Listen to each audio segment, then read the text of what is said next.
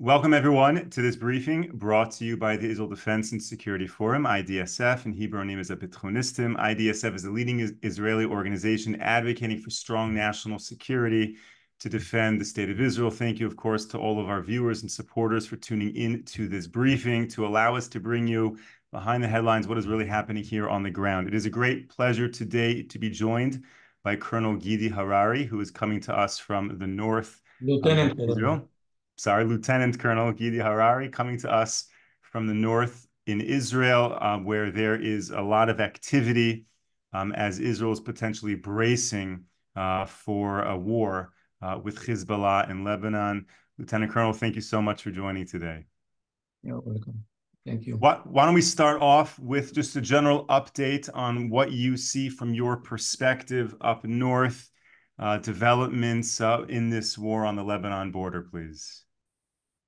Well, actually, we are uh, in a very tense uh, time uh, since uh, there is an escalation in the last a little bit more than month. And the, the escalation is, is coming from both sides.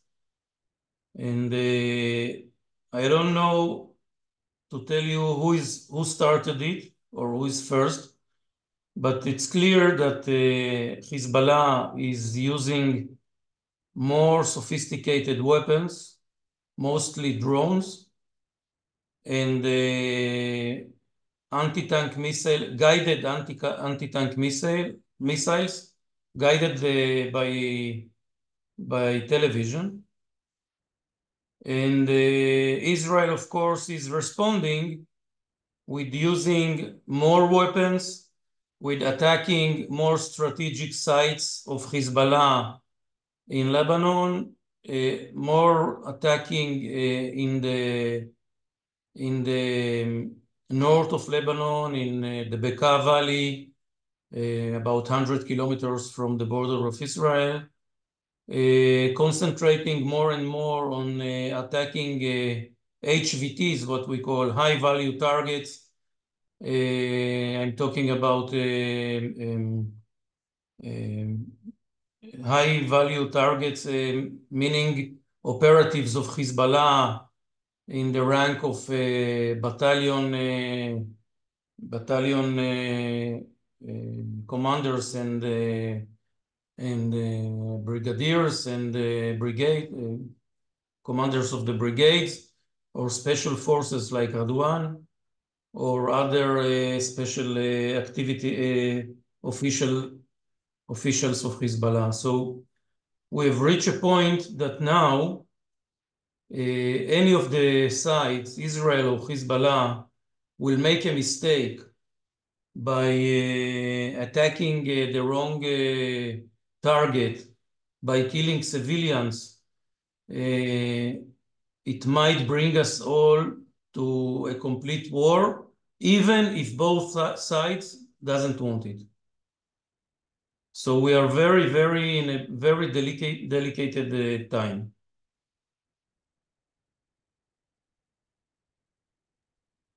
Uh, let, let me ask you, do you think that Hezbollah wants war or they're being dragged into a war? Well, a month ago, I was pretty sure that uh, they don't they don't want war. Actually, they don't want complete war. And uh, today, I'm not so sure. I think that uh, they want, they are trying to drag us maybe to a war, that we will start it. Uh, and uh, since there is a lot of disagreements between Israel and the, the United States lately, uh, they might get the impression, like their bosses, the Iranian regime, that uh, the US and the Israeli regime are uh, in a crisis. Where it's there is some kind of crisis, but there is still the, the pact between Israel and the United States is still very strong. Uh, but they might have the impression that uh, it's not so. And that might bring them to the decision to start a war. This is one side. The other side is Israel. Because Israel, if we will might feel that uh, in the Gaza Strip we are going to finish the war and might want to start it in, in the north. Because at the end of the day, I believe, and many people like me believe, that the war with Hezbollah is something in inevitable. It might, it has to be now, or it has to be next year, or in five years, it doesn't matter. It's not something that you can stop it, because the Iranian regime, which is conducting all the all this game in the side of uh, Hezbollah, they are declaring all the time that the biggest enemy, the biggest problem, the biggest issue that should be terminated in the Middle East is Israel. They are declaring it every day. So if we will not finish it now, it, we should finish it in the future. But finish it, it doesn't mean to finish with Hezbollah. The, la, the, the, real, the real issue is the regime of the Ayatollahs in Iran.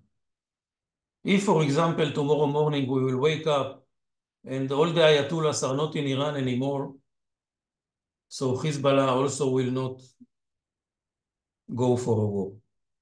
But since it's not going to happen, uh, so it's it's it's very it's a big issue. It's a big problem. So, if there were to be a war with Hezbollah, which seems more and more likely, what does victory even look like as long as Iran would remain intact? How do you fight an enemy where they're not really the enemy? Or the only enemy, I should add? Uh,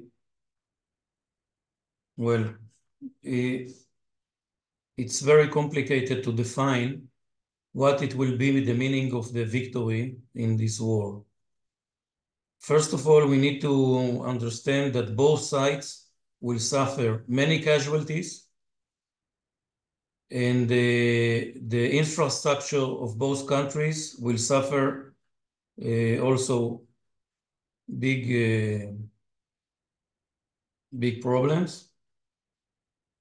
Uh, and Hezbollah, it's not something that we can uh, finish with them till the last uh, war, the last uh, Hezbollah soldier, okay? Uh, and Iran fighting the Iranian regime, it means that we need the coalition of the United States, Britain, France and all all the free world, and I'm, I don't see it happening. Biden, I don't think can take a decision now to go into a war with Iran. Uh, what are we? F five months before the elections, it's it's crazy for him. So we should be very cautious with it. I think that. Uh, what we need to think is the is to try to do something that uh, that will uh, let understand Hezbollah that what they can gain with the war is less than what we are, that what we, they were going to lose. The deterrence that we thought we have with them should be very clear to them. And uh, uh, Hezbollah, Hassan Nasrallah is also doing the calculation is thinking also about Lebanon. The Iranians, they don't care about Lebanon. They care about destroying Israel. So what will happen in Lebanon, they don't care. But I think that uh, Nasrallah does care and uh, we need to give the to give him the reason to take care about what is going to happen with his country. So are you suggesting that the, the only measure of deterrence for Hezbollah is not Israel's defense or what Israel could do to Hezbollah, but rather the Lebanese people and uh, their uh, reaction to Hezbollah? Yes. And is there are there factions within Lebanon society that that Nasrallah really cares about? No. No. Uh, Samir Geagea, which is the leader of the the Lebanese forces, what is called, uh, which is the Christian uh, the Christian uh, party, the biggest Christian party and the biggest Christian militia, said yesterday or the day before that he will take out 20,000 uh, warriors to fight to fight against Hezbollah. First of all, I don't believe that he can take out 20,000 warriors. Second, uh, he is not strong enough to fight Hezbollah. Um, I don't think that there is a real opposition to Hezbollah, military talking, uh, inside Lebanon. Um, and then, in addition, we will need we will need to strike them uh, very hard very hard in the first week and try to finish it as quickly as possible. Uh, within within Lebanon, in addition to Hezbollah, you have Palestinian Islamic Jihad, the Amal Muslim Brotherhood. Aren't these all of these other factions? Although they're rivals, they're all unified in, in wanting to destroy Israel. So, if anything, isn't there support for that? Yes, but uh, the Islamic Jihad and the Islamic Brotherhood, they are not uh, such they are not such such strong uh, force in Lebanon. So it's not this is not the issue because you have in in the side of the Shia you have Hezbollah and Amal, which are two big militias that will fight us. Of course, that the Palestinians will join them and the Hamas will join them, the Hamas uh, in Lebanon. But the main issue is Hezbollah and uh, Amal. Hezbollah is like a small army. No doubt. In terms of a war with Hezbollah, do you think that would require Israeli boots on the ground in southern Lebanon? Uh, yes, but uh, I wouldn't go uh, northern than the Litani River. It means that uh, 20 kilometers, 25 kilometers inside Lebanon, not anymore, just to, to, to be safe. We are not going to conquer Beirut now, like in 82. This is not the issue. Although we wouldn't conquer Beirut, I mean, would Beirut be under attack by Israel? Is that the stronghold that Israel would have to target? Meaning, when you say uh, heavy losses, would that include Beirut and being an airstrike from Israel? Beirut, Beirut should be the first strike uh, target to strike heavily, and mostly the the Dahya neighborhood, which is the headquarters of Hezbollah in Lebanon. This is what this is. This was part of the game changer in the 2006 war. The two greatest targets that uh, will hurt Hezbollah is Beirut and Baalbek.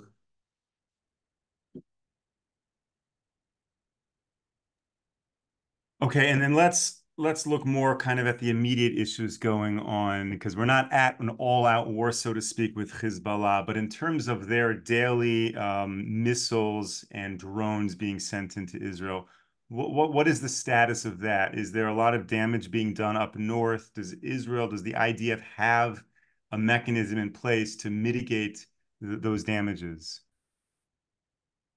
There is relatively a lot of damages, mostly in the kibbutzim and in the moshavim, which are actually on the border. I mean, zero to one kilometers from the border. Uh, in Metula, in Misgav in uh, Manara, Malkia, uh, these are the main places. There is damages relatively to, to what is happening in the other side, in the Lebanese side, is not a high damage. But relatively for the Israelis of what they've seen in the past, it's a heavy damage. Mostly, then, mostly houses, not uh, not victims now you say more damages are on the Lebanon side. I think there's 349 Hezbollah operatives to date that have been killed. Is that meaningful for Hezbollah? Do they look at that number and cry and start mourning? Or is that business as usual and it doesn't really have an impact? Meaning they're not really feeling uh, any pain right now.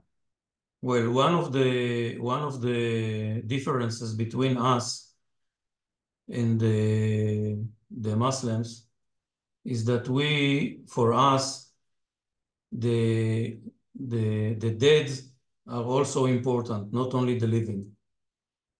For them, the dead, they don't count them.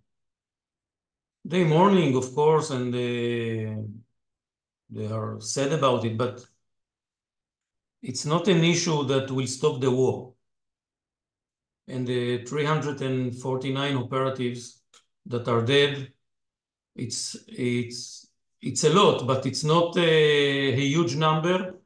Although there are a, a lot of them are high rank uh, operatives, but uh, talking about a, number of uh, 60, 70, or 80,000 operatives that they have in Lebanon, 350, it's not a lot.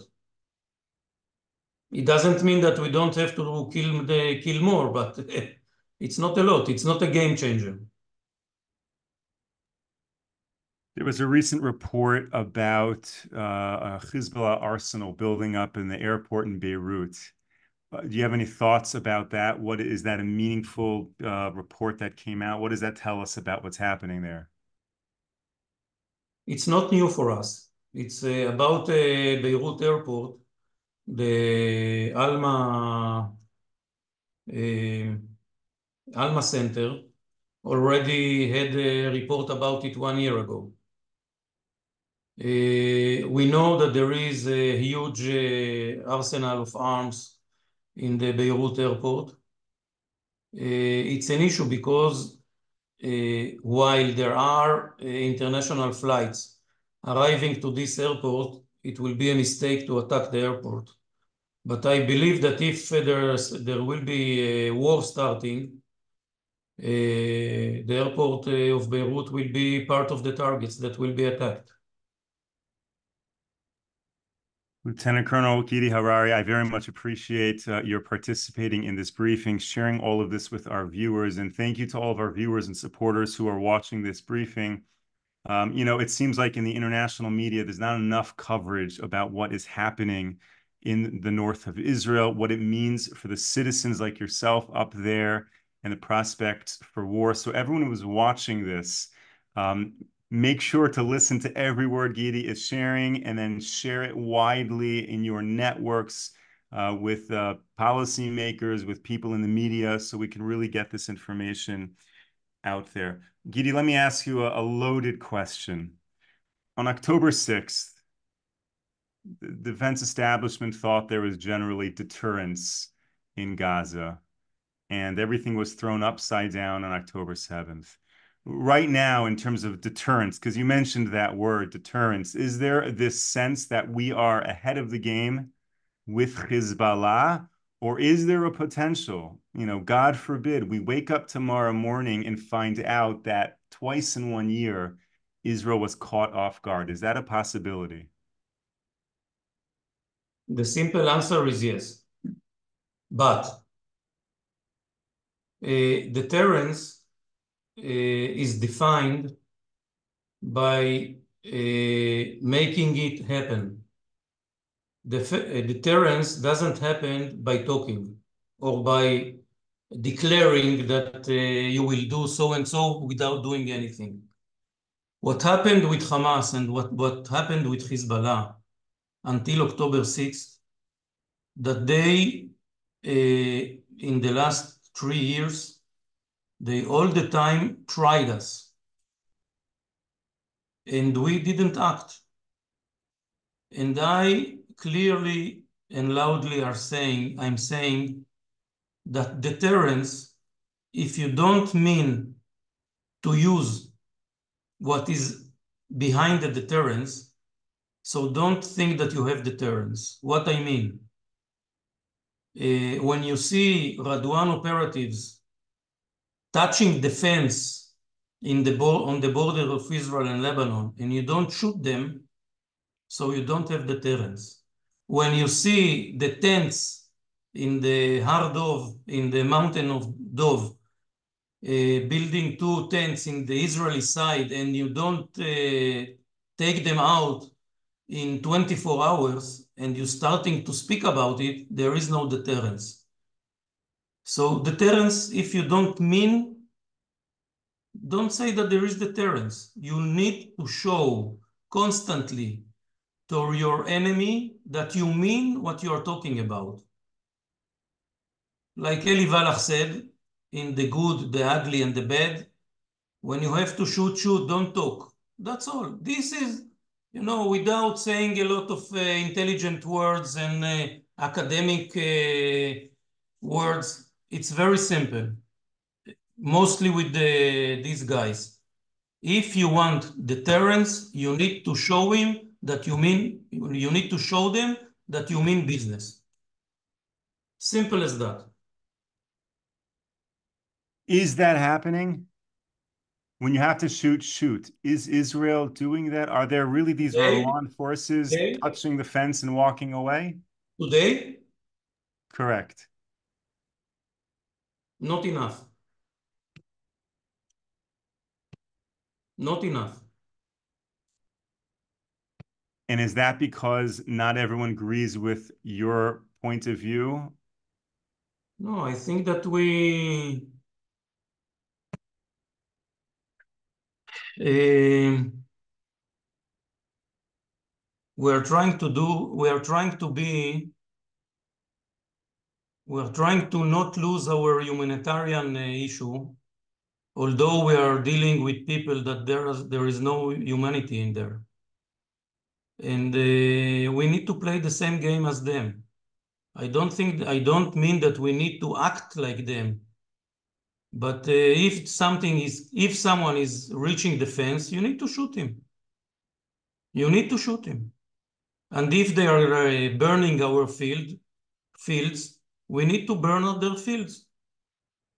And if uh, in Manara there is no light for three days, I don't want to have uh, electricity in all the villages around Manara, in the other side of the border. Simple as that.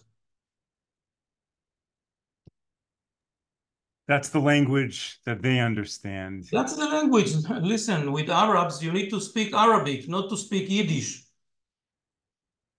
They don't, they don't speak Yiddish. By the way, me too, don't speak Yiddish. But I speak Arabic. So come on, we are in the Middle East. We are not in Europe. Very well said.